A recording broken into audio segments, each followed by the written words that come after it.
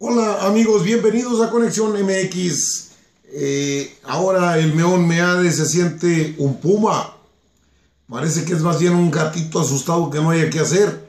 Eh, en un evento donde estuvo el día de ayer con un centenar de jóvenes desarrolladores de software, donde tuvo que aguantar vara porque gritaban los muchachos AMLO, AMLO, AMLO, eh, se autonombró el Puma de la Paz. Es decir, ya le entró. Y, dice otra ocurrencia. Este señor, alguien debe decirle que está tonto, que aparte de ser un pinto meón, es, un estúpido, que no logra entender quién es el tigre. Ahora dice que el tigre es AMLO y que él va a detener al tigre porque es el Puma de la Paz. El señor Pinto, Meón, Meade, a sus asesores. El tigre somos nosotros, el pueblo. Y lo menos que nos espanta un puma, más bien usted debería ser el jaguar, por aquello de las manchitas. Un puma no. Y de la paz menos, puesto que tiene un país bañado en sangre, y lo quiera o no, no tiene las manos limpias. Las tiene blancas por el vitidigo, pero no está limpio. El país está bañado en sangre. Así es que, ¿de dónde agarra? Que es el Puma de la Paz. Y luego Ratalla, en sus vocecitas así eh, de niña, eh, necesitamos que respeten la, la, jornada electoral, que no haya violencia. Eh, se está victimizando, eh. Cuidado, cuidado con la piedad, porque ese, es, ese Ratalla es, es labioso. Es, es, le dirían en el rancho, es ladino. Quiere quiere llamar a la piedad de los mexicanos para que le den el voto. Tenga cuidado. El Bronco con su rollo allá solo en Toluca, creo que reunió a 10 gentes y se le fueron 7. Eh, la Nalgarita, pues ahí haciendo su rollo de siempre. Ella es católica, apostólica y romana y dice que no le da pena decirlo. Y Andrés Manuel le dice a Carlos Slim, pues está bien que se haga el aeropuerto, hombre, está bien que hagan el nuevo aeropuerto internacional de la Ciudad de México, pero lo que lo haga con su dinero y hasta se lo concesionamos. O sea que, ¿quién dicta la agenda? ¿Quién dice cómo? Las ocurrencias de alguien que le diga quién es el tigre. De perdido que lea la historia de Madero, hombre. De Porfirio Díaz, aquel que dijo, pues Madero está soltando al tigre, a ver si lo puede domar. Es algo de historia elemental, elemental, pero no esa gente nada más tecnócratas, es decir, tecnorratas. Pues, ¿qué podemos esperar? Hola, Carlos. Pues aquí teniendo que darme, tengo que darme cuenta de cómo corre el agua y no, bueno, pues yo tolero poco a los periodistas en, en cuadro, eh, en pantalla. Eh, pero tengo que, que, obviamente, tengo que estar enterado. Y las ocurrencias de Mea, de, del Meón, perdón, yo sé que tu padrino Peña Nieto es el que lo tiene ahí, lo de Gonzalinas, pero eh, qué ocurrente el señor. Todo parece indicar, Albino, que los asesores políticos y de estrategia de imagen del señor José Antonio Mit son los priistas de brazos caídos los cuales están haciendo todo en represalia porque no quedó ninguno, ningún priista de cepa, eh, haciéndolo caer en este tipo de dificultades, errores, en los cuales lo hunden más. Y día a día estamos viendo ese tipo de est estrategias que no repuntan, estrategias que solo lo hunden más. Por eso comentábamos el día de ayer que ya formaba ya formaba ser parte de las filas del grupo minero de Napoleón Gómez Urrutia. Sí, pues así, miren, hay una frase coloquial, hay una forma, forma coloquial en, en, los pueblos, en las ciudades, eh, puede que no esté muy generalizada, pero minero se les llama a los que ya murieron. Para que usted entienda por qué le decimos el minero. Bueno, pues es que ya son cinco candidatos, ahora sí va en quinto lugar. Vamos que tiene el apoyo de, de Cedesol, su ex secretaría. Eh, prospera, progresa, quitan ines, dan frijol con gorgojo, chivos, marranos. Bueno, de todo. Pues con todo y eso no levanta. Y no levantará Albino. ¿Tú crees que es un puma de la paz? Yo digo que es más bien un jaguar. El, el mote del jaguar que tiene Ríos Peter, que todavía Armando Ríos Peter anda buscando que lo metan en la boleta. Ay, que lo metan, hombre. Pues que metan otros tres pero el meón meade eh, no se dará cuenta que no tiene finta de puma. Bueno, eh, yo tengo entendido que hoy en día no figura en el quinto lugar a José Antonio Mit, sino ya figura en un sexto lugar.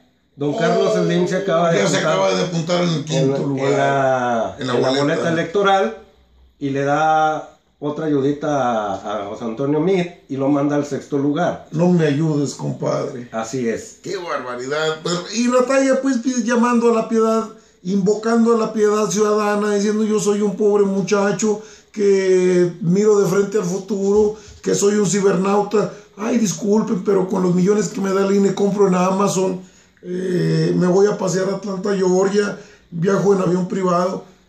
Y luego, perversamente, lleva gente al aeropuerto de la Ciudad de México con pancartas. No, no. Y, Por- y de por- madrugada. y de madrugada, Carlos, es un montaje. No, los tiros están donde se ha presentado en el auditorio del ITAM, por ejemplo, donde dijo, no, aquí aguanto vara. No estaban tiroteando, le estaban diciendo abajo, ratero, ratero, vendido, Cosa- vendido.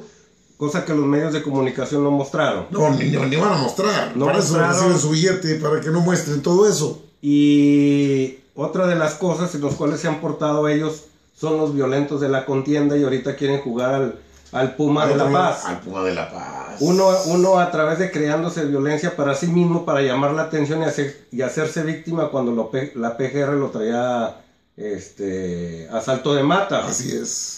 Y ahora el señor José Antonio Meade no haya qué hacer para despertar un poco de atención en los medios de comunicación y le crean su cajita china. Su cajita china en la cual ahora ya estamos informándonos más. Estos hombres vestidos desde la CNC resulta que ser que eran de Antorcha Campesina. De CTM. Los cuales, de CTM, perdón. Los cuales agredieron a los maestros que se estaban manifestando de una forma Pacífica, pacífica. pacífica. O Entonces, sea, hoy en- los, golpeadores fueron de Antorcha y de CTM. y que el mismo. Antonio Meade, él manda Sí, sí. a apedrear a esos maestros, el cual retoma como si los maestros hubieran sido los violentos y lo toma como nota del día. Y así le dan. Cosa que hasta el día de hoy los medios de comunicación siguen dando nota de lo mismo que pasó el sábado. Y luego fíjate lo que dicen. Vea usted a los violentos. Y hacen creer que los violentos son los que andan tirando las pedradas. No, esos son los de la CTM y los de Antorcha. Son los porros del PRI. Una parte. No porque tienen, tienen grupos de choque, pues paramilitares, ¿eh? grupos de élite a su, a su disposición. Tienen el gobierno federal en sus manos. Sí, son, son las estrategias de la desesperación. Así amigo. es, y a eso, a eso nos vamos a enfrentar. A eso nos estamos enfrentando como ciudadanos, pero nos están queriendo embaucar. Nos están queriendo jugar el dedo en la boca. Es necesario nosotros informar, porque tenemos esa capacidad de hacerlo, que los que están tirando pedradas y están haciendo el desorden es la gente que envió el meón meade, que muy respetuoso mi compañero Carlos le dice el señor Toño Mi. Antonio Meade. Antonio Mir. Y para mí es el mejor meade. Podemos disentir, pero es asunto de nosotros. Eh, yo le digo que este meón meade pinto, rata de manos güeras, pero de conciencia negra, es el que manda a esta gente. Por supuesto, los medios están haciendo, los, el poder fáctico de los medios está actuando. Esta es la gente a la que le quiere dar Andrés Manuel. Ya no sean pendejos con el perdón de la palabra. pues, están diciendo lo mismo en cada rato, cada hora. La vieja táctica de medios informativos. La conoce el Orejón Salinas. Di una mentira mil veces y se convertirá en verdad. Totalmente. Y otra de las cosas que dijo don Andrés, Andrés Manuel López Obrador en San Luis Río, Colorado, que fue su presentación.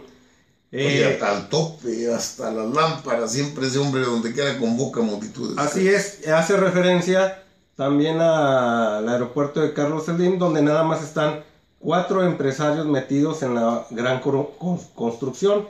Entre ellos es el Carlos Slim y Gerard, el cuñado de, de Carlos Salinas de Gortari. ¿Sí? uno de los dos de los cuatro empresarios que están metidos en esa magna obra y les vuelvo a repetir la obra no está mal la obra como tal de necesidad de un aeropuerto lo que está mal es que está hecha en un terreno fangoso Mal planeada. así es y entonces mal proyectada y aparte con contratos leoninos. ¿eh? Eh, si algo eh, eh, tocó el dedo en la llaga desde un principio Andrés Manuel fue la corrupción en esa obra. Y ya vimos lo que la Sedena hace. Es, es revisar los contratos y debe haber tiempo, ¿eh? Por eso tienen miedo. Porque de aquí al 1 de julio se pasa rápido. Estamos a, a unos a, dos meses pasaditos de una contienda histórica. A eso le tienen miedo. Por eso ya salen más ocurrencias, más desesperación. Eh, el Pinto Meade eh, se autonombra el Puma de la Paz. Rataya sigue con, una, con un discurso no conciliador, eh, es un discurso perverso. sí, yo soy Rataya, bueno, no dice Rataya, él se dice Anaya. y prometo que voy a hacer de este país algo diferente. Y obviamente, en mi caso tiene que le diga las propuestas, son las mismas de Andrés Manuel López Obrador, porque todo está fusilado. Ahora resulta que Rataya también quiere ir contra los corruptos y quiere quitar el fuera todo y quiere quitar las pensiones de los presidentes. Pues que no fue ese el discurso con el que arrancó AMLO. AMLovich, Karlovich, dame una explicación por el amor de Dios. No, Albino, aquí lo que estamos viendo es este, una contienda de solo una persona y todos contra él.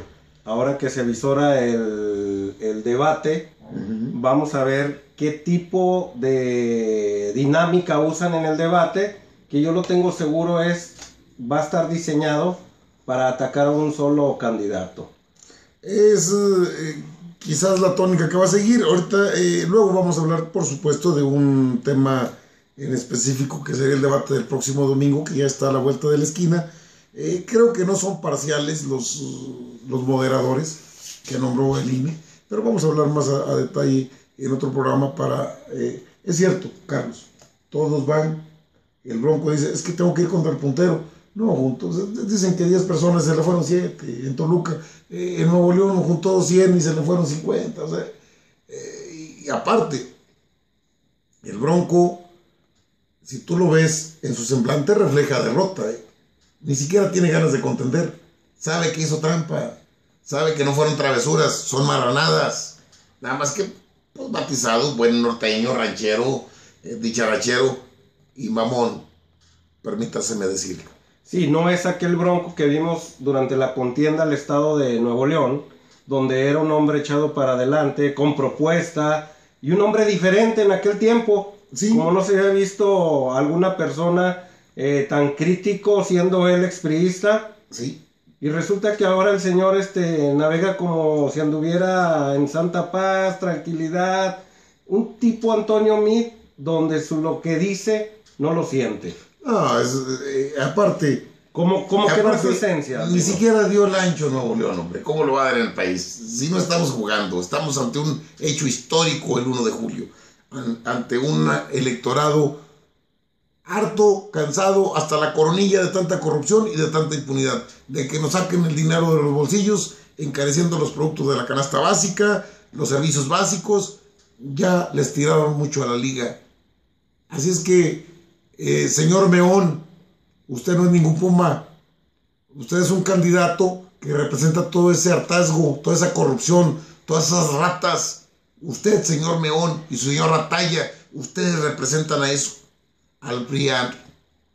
Sí, representan a la corrupción y es imposible que... la impunidad, Carlos. La impunidad, y es imposible querer ver a una figura donde se quiere deslindar de un partido el cual... De dos partidos, no uno. De tres. Bueno, bueno cuenta. Uno ahí que se cuela, pero dos partidos que figuran en los cuales todo el tiempo han tenido inmerso a, a México en un descrecimiento porque si nos vamos a los estados del sur, no han crecido, han decrecido. Han decrecido, han que son los estados que más necesidad tienen en este país. Los del norte figuran por sí solo.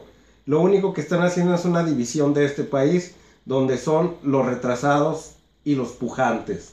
Y no se vale, creo que se debe gobernar para todo un país. Nunca, nunca se ha gobernado para todo un país. Vamos pues, eh, ahí está el Meón Meade con sus ocurrencias que el tigre es AMLO, el tigre somos el pueblo, los mexicanos.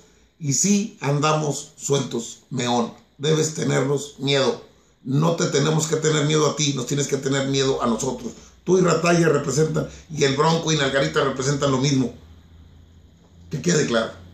Carlos. Apagar el switch. Apagar el switch. Eh, el switcher, floor manager. Ay, disculpe, no, no es este, de ninguna manera, obedeció a mi, a mi compañero eh, nos vemos en la próxima conexión. ¿Le parece a usted?